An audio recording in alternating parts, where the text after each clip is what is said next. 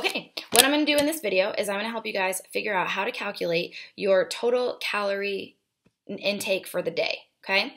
And then in a second video, I'm going to help you use that number to figure out your macronutrients, so your carbs, your proteins, and your fat intake based on the number that we calculate here.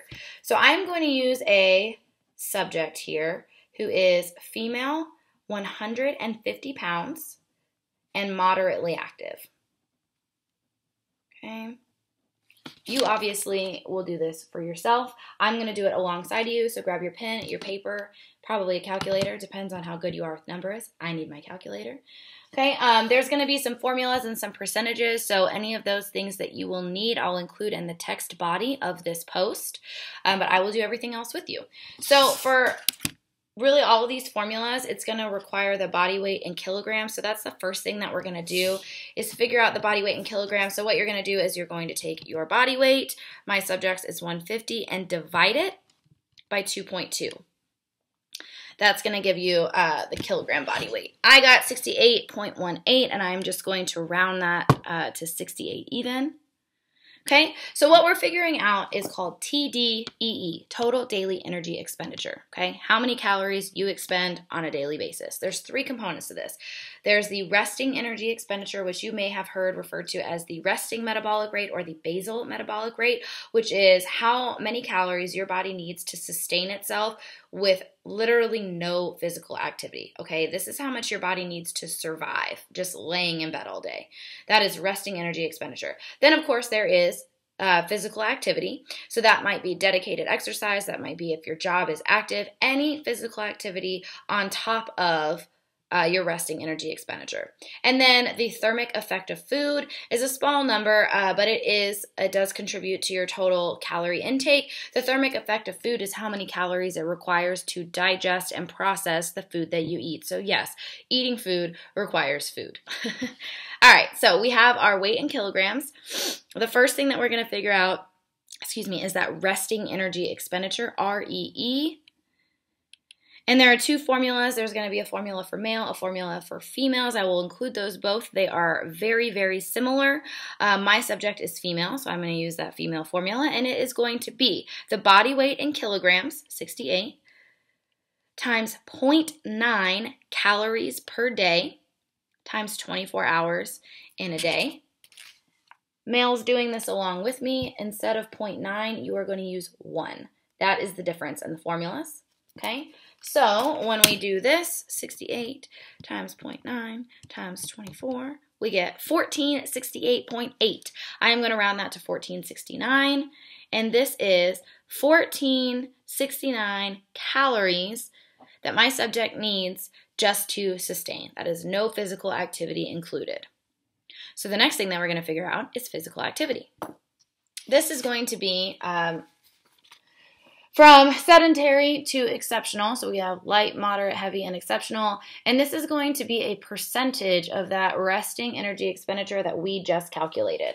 Okay, so the subject here is moderately active, and you'll notice that gives me a percentage of 45 to 65%, which is kind of a big range. All of these are kind of big ranges. So you're going to have to decide for yourself, first of all, where are you on this scale? And then over here, are you on the light end or the high end of whatever you chose? Okay, so I'm just going to give you kind of a benchmark for each of these. Sedentary is going to be does not exercise and probably has a desk job. Okay, so really no physical activity at all. Light is probably still going to be a desk job, exercising one, maybe two times a week with fairly light exercise when when exercising. Moderate, I'm going to say we're still working a desk job, exercising more per week, three to four times, maybe with a little bit higher intensity in those workouts. Then we get hard. This is where these last two is probably going to be where you're no longer working a desk job, or if you are working a desk job, you're working out five to six days a week with pretty intense workouts. Um, this exceptional category, uh, you're probably an athlete of some kind. If not, um, you're working an active job, you're working out six to seven times a week, pretty intense workouts when you do, maybe twice a day. So that's just kind of to give you an idea as this goes down where you should be. And then, of course, you have to, like I said, decide if you're on the high end or the low end. So, my subject, as we decided, or as I said, is moderately active. So, I have to choose between 45 and 65% um, for her activity level. So, let's say that she works a desk job and she works out four to five times a week um, with fairly intense activity.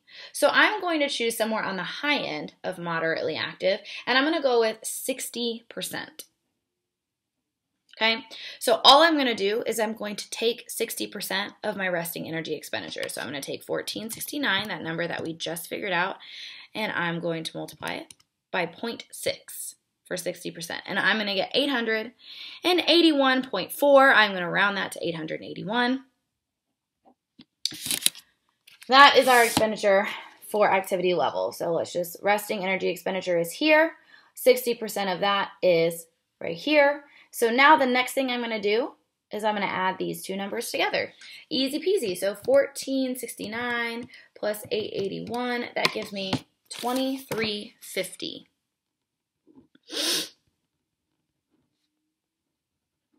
Okay, now the very last piece, if you'll recall, is thermic effect of food.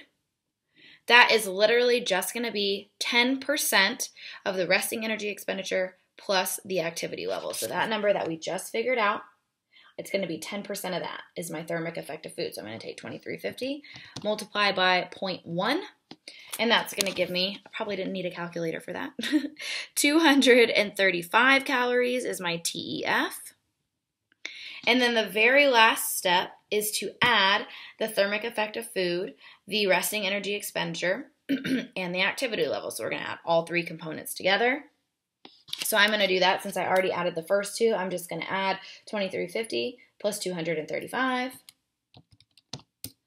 for 2585. So that's 2,585 calories. For my female 150 pound moderately active subject, this is the total energy expenditure per day. So let's talk about goals here then. Um, if you want to lose weight, you need to be eating less than your total energy expenditure. If you want to gain weight, you need to be eating more. And if you want to maintain, you're going to stick right around this number, okay? The general benchmark for uh, deficits and surpluses is going to be 500 calories. So, what that means is that if you want to lose weight, it's generally recommended that you eat 500 calories less than your energy expenditure to gain weight, 500 calories more than energy expenditure. Okay. I think that 500 is a little bit much, especially if you're just starting. Um, I would suggest anywhere between 100 and 500 calories for a deficit or a surplus. And you can always, right, start a little low. And if you're not seeing the progress that you want, go a little higher. Go a little higher go a little higher. But you don't really want to go above or below 500 calories for a deficit or a surplus. I mean, a surplus is a, is a little less dangerous to play around with, but in that deficit, you don't really want to go less than 500. And I'm going to kind of talk about why. So, um, my moderately active female subject, let's say she is going to go with a 500 calorie deficit. That's going to have her eating 2,085 calories per day to lose weight. Okay. Now I want to bring you back up to these numbers. So we have a resting energy expenditure of 1469, and then we had a thermic effect of food of 235. Okay. I'm going to add those two together for you. 1469 plus 235. That's 1704. Okay plus moderate activity level. Okay, so 1704 is not even the total amount of energy that this person is expending. So when we do a 500 calorie deficit, we're not really allowing a whole lot of wiggle room for that physical activity. So, yes, we do want to lose weight, we do want to expend more calories than we're consuming, but we don't want to get too extreme with that. This is why it's not recommended that you go below 500 calories for a deficit, okay? You don't want to get too close, especially to this number for your total energy intake when you're losing weight, because as we've discussed, this is what your body needs simply to function without any physical activity at all, okay? When you start eating less than this, but you're still exercising, you're going to be altering your body's natural metabolic processes, and we don't necessarily want that. We want to lose weight in a safe and a healthy way. So, it, like I said, just don't go below 500 for that that deficit. I also said that I recommend between 100 and 500 calorie deficits. For someone who is moderately active, who fits this uh, profile for my subject, I'm going to suggest something closer to 350 to a 400 calorie deficit. So let's go with let's go with 350 because she can always go a little bit higher if she's not seeing the results that she wants.